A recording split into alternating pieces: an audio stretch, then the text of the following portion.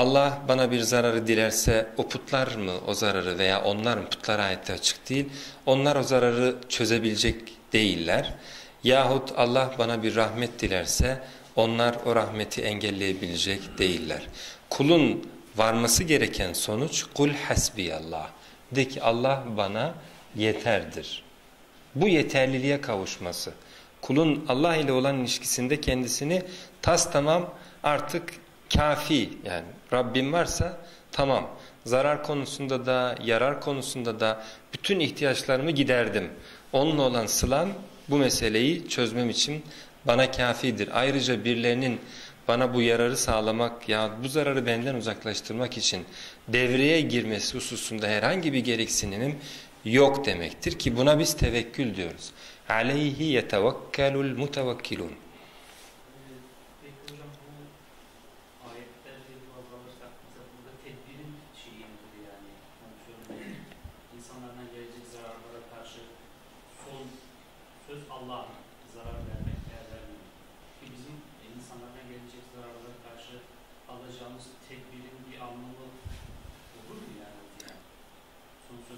Evet. Neye karşı tedbir alacağız? Evet. Yoksa bir şey mi olmak lazım? Yani psikolojik olarak ne olursa olsun sonuçta son karar Allah'ın. Yani. Bana bir zarar gelecekse benim tedbirim zaten buna bir engel değil. O, Hazreti Yakup'un Yakup'un şeyinde. Evet yani o verdiğiniz örneği söyleyecektim zaten. O bu konuda son derece şey bir örnektir. Kul tedbir ile memurdur. Yani alabileceği tedbir varsa karşı tedbir. Bununla Allah Azze ve Celle bizi memur kılmış. Yani emretmiş bize. Tedbirli bulunmakla memuruz. Kendimizi tehlikelerin ortasına atıp zaten Allah dilemezse olmaz e, gibi bir yaklaşımla sanki Allah'a test edercesine böyle bir şeye e, uçukluğa veya savrulmuşluğa Allah Azze ve Celle bize müsaade etmemiş. Biz Gıdamızı sağlamak için de tedbire başvuruyoruz, ticaret yapıyoruz, girişimde bulunuyoruz. Ondan sonra güvenliğimizi sağlamak için de tedbire başvuruyoruz. Sağlığımızı korumak için de tedbir. Bu tedbirlerin hepsi Cenab-ı Hakk'ın emri. Nitekim savaşta mesela infiru khif infur thubatin ev infuru cemia. İster yani topluca veya parça parça yayılın, sevk edin Ordunun sevkini anlatırken Cenab-ı Hak وَخُذُوا حِذْرَكُمْ diyor. Tedbirinizi alın.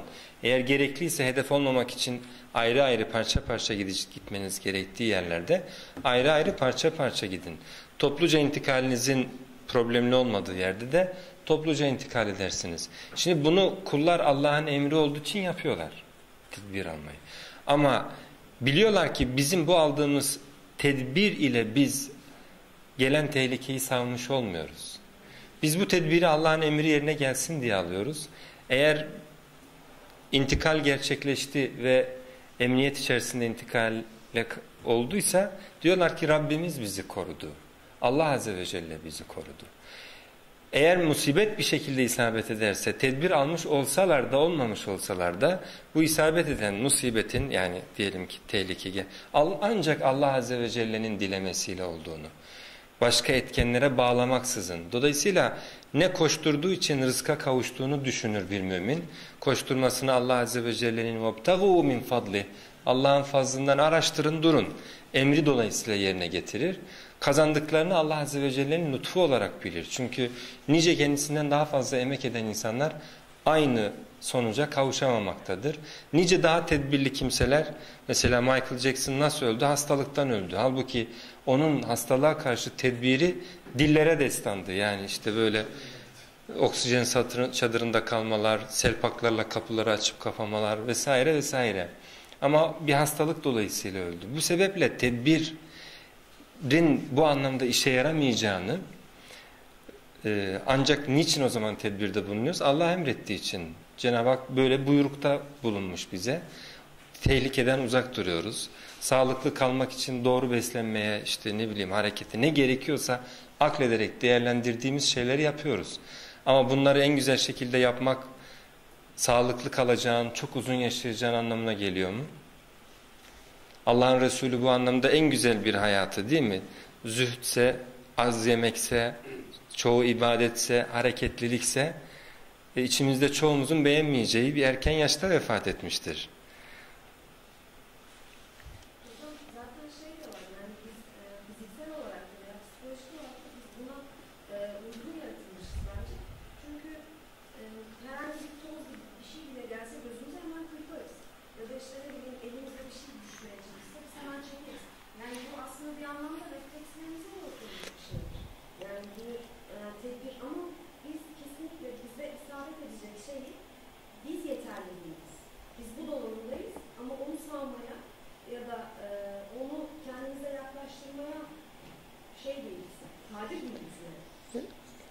Yani neticede biz bütünüyle korunamayacağımızı, korunmamız şey korunma tedbirlerimizin bizim açımızdan mutlak netice vermeyeceğini biliyoruz. Dolayısıyla eldeki bir netice varsa mesela 50 yaşına kadar sağlıklı yaşamış bir adam bunu dönüp işte ben şunu yerdim, bunu yerdim, işte şöyle yaptım, böyle yaptım diye izah ediyorsa kendi içinde o yani e, bir ahmaklık durumudur. Çünkü ondan daha sağlıklı nicesini tanım yani ondan daha güzel yiyen, aynı şeyleri yapan nicesini tanımıştır ki hayatında o sağlık, o dönemi sağlıklı geçirmemiştir. Kırkında hastalanmıştır vesaire. Doktorlar ona ne demiştir? Parametre çok, genetik. Yani yığınla parametre var masa üzerinde. Dolayısıyla bunların hepsini denetleyen yegane tek bir kudret var ama Allah Azze ve Celle. Dolayısıyla kul var olan bir sağlığı varsa bunu işte şunu yedim, bunu yaptım, bundan ötürü diye değil Allah Azze ve Celle bu sağlığı bana lütfetti. Ama sen de çok dikkat ediyorsun desek o kişiye Rabbim emrettiği için emanet çünkü demeli. Dolayısıyla bu iki vektör birbirinden bağımsız vektörler. Bu ikisi ilişkili olmaya başlarsa yani neticeyi kendi yap ettikleriyle elde ediyorum düşünmeye, sanmaya başlarsa kulun yanıldığı nokta.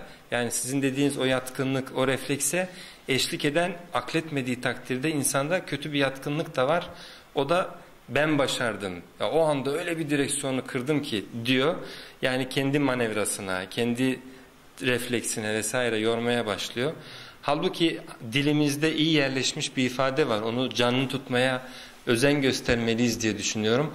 Allah'tan ki diye başladığımız ve böyle yorumladığımız şeyler çok isabetli. İşte tam o ara Allah'tan birisi yani orada bir Allah'tan kullanıyoruz cümle aslında kendi akışıyla devam ediyor. Ama çok önemli o. O arada Allah'tan birisi kapıyı açtı. Bak birisi kapıyı açtı diyoruz ama önüne Allah'tan diyoruz. Çok önemli bir şey. Bunu belli ki vaktiyle mümin kimseler, hayatı doğru okuyan kimseler doğru ifade etmiş ve halka doğru telkin etmişler. Halk da bunu doğru kullanmış da deyim olarak dilimize yerleşmiş. Bunu doğru kullanmaya devam edersek çok iyi olur ama şundan bundan başka ifadeler var bunların yerine geçmeye çalışan halk dilinde. Bunları geri göndermeli ve hep böyle kullanmalıyız. Kimsenin eliyle veya kimsenin bir girişimiyle değil, gelişen, değişen, dönüşen bütün olayları ancak ve ancak Allah Azze ve Celle'nin kudretiyle, onun tanzim ettiğini, onun yarattığını, böyle düşündüğümüz takdirde makul, aklettiğimiz bir sonuca kavuşuruz. Yoksa diğer türlü Karun gibi işte bana verilen mal bendeki bir ilim dolayısıyla diyor. İnnemâ utîtuhu ala ilmin indi. Kendisine bağlıyor. Size niye verilmedi? Çünkü ben ilim yaptım ve bu ilim neticesinde bu mal bana verildi diyor. İşte akıbeti ortada.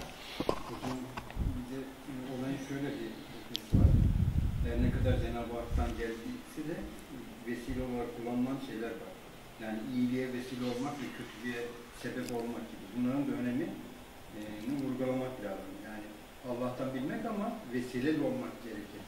Kötülüğe sebep olmamak gerekir mesela. Bunu da ayrıca vurgulamak gerekir. Yani bu vesailin hepsi, vesilelerin hepsi hiçbiri olayın gerçekleşmesi açısından gerek, e, gerekli veya yeter koşul değildir. Burada bir vesile bu oluyorsa bir insan, diyelim ki bir kimseyi gördü ona doğru şeyler anlatmaya kalktı. Burada kendi vazifesini yerine getiriyor. Tedbirdeki şey neyse buradaki mantalite de aynı. Ben burada doğru şeyleri ona anlatmakla memurum. Görevimi yerine getiriyorum. Eğer bu kimse doğru tercihte bulunursa o kendi hidayeti uğrunda adım atmış olur. Ben bunu yapmazsam bu kişi dalalette kalırdı veya gerçeği bilemezdi gibi yani biz onu yani kendisine bağladığı takdirde yanılgının kendisi orada zaten. Çünkü Allah Azze ve Celle seni de kullanabilir, başkasını da kullanabilir. Göklerin ve yerlerin yerin orduları Allah Azze ve Celle'nin emrinde. Ona hakkı herhangi bir vesileyle Allah Azze ve Celle öğretebilirdi. Sen burada rol almak istediğinse sevap almak istediğin ve görevini yerine getirmek istediğin içindir. Yoksa Allah Azze ve Celle zaten muradını yerine getirecektir. Ona o hakkı öğretecektir, belletecektir. Sen hiçbir zaman yegane vesile değilsin. Problem bazı kimselerin vesile kelimesinden ve ona yükledikleri anlamla sonra kendilerini yegane vesile veya özel vesile yani benim gibi de birkaç tane var en fazla bu kadar olur. İşte özel vesileleriz biz. Allah Azze ve Celle'ye bu tür vesileler üzerinden, hayra bu tür vesileler üzerinden kavuşulur şeklindeki yaklaşım vesilenin anlamını bozu veriyor bu sefer Cenab-ı Hakk'ı ve onun yetkilerini belli kanallar üzerinden sınırlandırıveriyor. Halbuki Allah Azze ve Celle birine hayrı dilediğinde vesilesiz herhangi bir şekilde ulaştırır. Kimseye, kimsenin vesile olmasına da muhtaç değil. Ama bir kimse hayır yapmak istiyorsa ve Cenab-ı Hakk'ın birilerine ulaştıracağı hayırda yani fakirlere mesela ihtiyaç sahiplerine rol almak istiyorsa bu ona onun Allah katında kazanacağı bir sevaptır. Onun yani yoksa onun burada rol aldığı Cenab-ı Hakk'ın eksik kaldığı bir noktayı tamamladığı gibi vehme kapılmak söz konusu olmaz. Sizin anlatımınızda söylersek Allah Azze ve Celle buyuruyor ki men yeşfa şefaaten haseneten yekun lehu nasibun minha. Kim güzel bir şefaatte bulunursa ki şefaat ikincisi olmak demektir. Yani bir kişi bir işi tek başına yaparken ona ikinci bir kimse olarak katkıda bulunmak. Birinin mesela kaldırmaya çalıştığı ama tek başına kal sırtını alamadığı bir çuvalda el vermek bile ya birinin arabasını iteklemek gibi ya bir beceriksize bir işi öğretmek gibi herhangi bir şey bunlar. Kim güzel bir şefaatte bulunursa Cenab-ı Hak diyor ki onun için ondan nasip vardır. وَمَنْ يَشْفَى شَفَاعَةً سَيِّئَةً Kim kötü bir şefaatte bulunursa, kötü bir işte ikinci bir kişi olarak rol alırsa yakun lehu kiflun minha. Bu kez de onun için buradan vebal vardır, sorumluluk vardır, suç vardır. Ancak bir kimseye gelecek hayır ve şerde biz rol alsak da almasak da kişi bunu kendisi çok istese de az istese de eğer o gerçekleşiyorsa bu Allah Azze ve Celle'nin ancak iradesiyle gerçekleşmiştir. Ve yine ancak Allah Azze ve Celle'nin iradesiyle ortadan kalkar. Ortadan kalkma sürecinde bir tabip şif, ilaç yazmış olsa da yahut bir başkası başka bir şey öğretmiş olsa da öğretmemiş olsa da bu arada yani devreye giren veya çıkan şeyler bunların hiçbirisi yeter bir koşul değildir. Şifaya kavuştuysa yine biz bunu ancak Allah Azze ve Celle dilediği için şifa olmuştur. Ben çoğu tabibin gözünde görüyorum onu. Adam iyileştiğinde sahiplenemiyor. Yani çünkü ben neden biliyor musun sahiplenemiyor? Aynı durumda pek çok insana aynı şeyleri yapmış hiç bilemediği anlamadığı bir şekilde netice alamamış. Dolayısıyla netice olunca diyor ki başka bir irade işledi ve kendisine yönelik teşekkürleri sahiplenemiyor. Bunu yerli ve yabancı doktorların hepsinde görüyorum. Geçen bir tanesi ameliyat şeyini anlattı böyle uzun uzun kalp ameliyatı. Sonra getirdi kalbi yerine koydu. Dedi sanırsınız ki biz burada dedi çok bir şey yapıyoruz dedi. Hayır dedi getirdik koyduk bundan sonra dedi onun dedi çalışması yani bizim de dedi beklentimiz dedi yani çalışıyor nasıl oluyorsa. Yani orada sürecin kendi yaptıklarının ne kadar sınırlı ayrı bir kudretin dilediği takdirde devamını getirip getirmeyeceği hususunda kendilerini tamamen şey buluyorlar. Aileyle konuşmalarını mesela. Bir, bir aile üç tane çocuğu üçü de aynı kalp hastalığından çıkmış da belgesel olmuş böyle. İzle izle bitmiyor. Böyle çocuklar kıpkırmızı oluyorlar. Renkleri soluyor. Böyle bildiğiniz maviye çalar bir renge geliyorlar. Kalp arızaları varmış. Ve onlara bilmem ne kalp aynı işte şu özelliklerde olursa bir kalp nakledildiği takdirde kurtulabiliyorlar. Böyle uzun bir belgeseldi. Ve dolayısıyla sürekli gidip geldikleri doktor var ve beraber yaşıyorlar artık yani. Çıktı mı bir kalp, çıkmadı mı, çocuk işte nasıl bugünlerde kaybedebiliriz falan. Çok böyle şey bir şey. Tıbbın yapabildiklerinin, doktorların psikolojisi, Ameliyat anında dönüp dönüp kamerayla da konuşuyor zaman zaman. Bundan sonra çocuk çok iyi olacak, her şey tamamı hiçbir aşamada diyemiyor. Yani eldeki şeyler şu an için bu nakli yapmamıza mesela daha fazla bekleyemeyiz dedi. Bu kalbi intikal ettir, nakletsek iyi olur. İstediğimiz kalp değil aslında diyor ama çocuk artık şey durumda nakledelim. Yani düşünebiliyor musunuz? Bu şey gibi bir şey yani.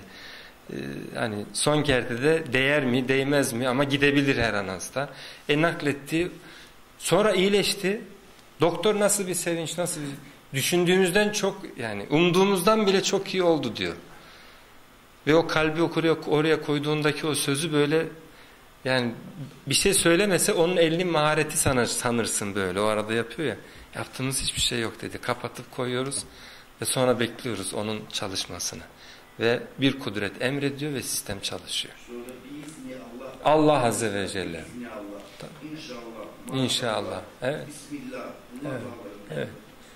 Yani yerlisi, yabancısı ilahi bir kudretin işlediğini, bu mekanizmayı harekete geçirdiğini, yürüttüğünü bizatihi gözlemliyor.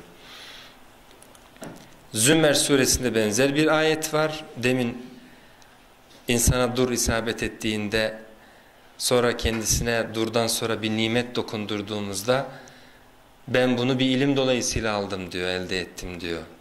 Allah da diyor ki belhiye fitnetun aslında bu bir sınamaydı ve bu sınamayı bu kişi kaybetti bu haliyle.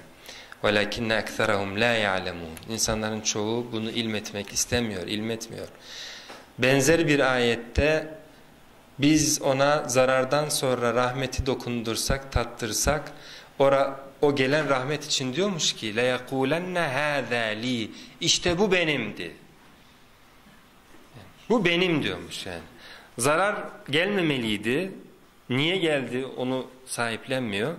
Hayır gelince işte diyor bana yakışan bu. Bu benim işte yani. Bana uygun gelen, bana karşılık emeklerime neyine yoruyorsa لَيَقُولَنَّ هَذَا işte bu benim diyormuş. Sonra da öyle bir sahiplenme ve kendi kendini yeter bulma ve artık Allah Azze ve Celle ile bağları koparmış ki bırakın o zararın tekrardan kendisine değmesini artık kıyametin bile kopmayacağı kadar kendisini güvende hissediyor. Bakınız ne diyor? وَمَا أَظُنُّ السَّاعَةَ قَائِمَةً Artık saatin bile kopacağını zannetmiyorum. Bu bizdeki bir psikoloji bu. Yani iyileştiğimizde asla hasta olmayacakmışız sanmamız. Karada ölüm yok. Evet. İyi duruma geçince, mala mülke kavuşunca bir daha asla düşmeyecek, bir daha fakir olmayacak sanmamız ve Cenab-ı Hakk'a dolayısıyla köprüleri atıyoruz. İnsandaki bu, bu psikoloji. O kadar artık şey ki kıyamet bile en açık realite o bile kopmaz sanmaya başlıyor. وَمَا أَظُنُّ السَّاعَةَ قَائِمَةً Ve Cenab-ı Hak'la bu, bu denli artık şey diyor ki eğer böyle bir şey olacak olsa وَلَاِنْ رُجِعْتُ اِلَى رَبِّي اِنَّ لِي عِنْدَهُ لَلْحُسْنَى Rab, öyle bir şey de olur da Rabbime eğer döndürülecek olursam o da koşullu varsayım yani öteki aslında kabullendiği asıl realite o. Dönecek de olursam bana iyi davranacağından eminim diyor. Bu da Allah hakkındaki gafletinin de hangi düzeye geldiğini gösteriyor. Hem artık Allah bana zarar vermeyecek, veremez. Tamam ben kendi kendime yetiyorum düşüncesi. Olur da Allah Azze ve Celle'nin huzuruna dönecek olursam o bana iyi davranacak. Neyi bu? Saflığı veya nasıl diyelim? Yanılgısı, kuruntusu. Böyle bir psikolojiye kavuşuyor. Yani o kişi demiyor ki ben onun emirlerine karşı şu anda o kadar duyarsızım. Onun istediği gibi hiç değilim. Nasıl oluyor da ben tam böyle bir durumda iken onun bana çok iyi davranacağı şeklinde bir kanaatle hayatıma devam ediyorum. Bu ikisi bir arada zor ama böyle bir noktaya geliyor insan iyi zamanlarında. İyi zamanlarında böyle bir hale geliyor. Karinesi ne? Karinesi şu. Diyor ki bana iyi olmasaydı bakıyoruz, bak görüyorsun veriyor diyor işte. Yani eldeki şu an itibariyle kendisine gelen lütufları demek ki beni seviyor ki veriyor diyor. Ve bunu da tersinden okumaya başlamış. Halbuki kötü durumdayken öyle demiyordun. Sıkıntıya düşmüşken ya Rabbi bundan sonra seni hep hatırlayacağım. Senin buyruklarına dikkat edeceğim. O zaman tek tek saymıştın bütün eksiklerini Cenab-ı Hakk'a karşı. O eksiklerin o zaman mı yalan söyledin? Yoksa şimdiki bu durumda mı aslında eksiklerin eksik değil de sen kendini tam sayıyorsun? فَلَنُنَبِّئَنَّ الَّذ۪ينَ كَفَرُوا بِمَا عَمِلُوا Biz yok sayanlara ne yaptıklarını elbette haber vereceğiz. Ne yaptıklarını tek tek önlerine koyacağız ve onları galiz bir azabı tattıracağız diyor Allah Azze ve Celle. Muhammed suresinde salat ve selam üzerine olsun Allah Azze ve Celle len yedurrullaha şey'a onlar Allah'a hiçbir şekilde zarar veremezler. İnnellezîne keferû yok saymış olanlar. Vasaddu an sebilillah Allah'ın yolundan insanları savmış, uzaklaştırmış olanlar. Ve şâkkur rasûle ve Resul ile didişmiş olanlar. Min ba'di mâ tebeyyene lehumul huda. Hidayet kendilerine apaçık belirgin olduktan sonra. İşte böyleleri Allah'a hiçbir biçimde zarar veremezler ayeti. Allah bana bir zarar yahut ve yarar sağlamayı dilese onlar ne yapabilir ifadesi? وَلَيْسَ بِدَارِهِمْ شَيْئًا Şeytan onlara bir zarar veremez ifadesi. Kadınlara sıkıntı yaşatmayın ifadesinde de Allah Azze ve Celle imkanınızdan onlara barınak sağlayın, onlara sıkıntı yaşatmayın ayetinde tudar ruhun ne ifadesinde geçmiş. De ki kendime bir dur veya rüşt de malik değilim ifadesiyle de Cin suresinde son buluyor Kur'an'daki dur ve örnekleri.